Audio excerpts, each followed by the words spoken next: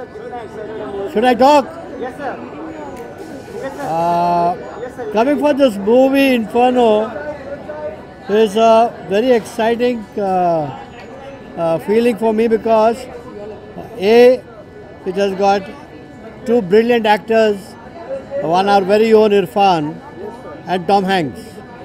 I have uh, been a great admirer of these two actors and uh, I'm sure that the chemistry between Tom Hanks and Irrfan would be magical.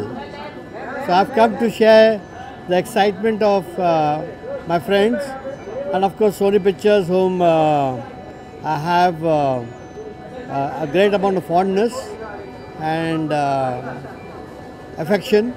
So I feel that uh, this is going to be a good roller coaster for us to watch this evening. And I wish Sony Pictures all the best for this film. Thank you.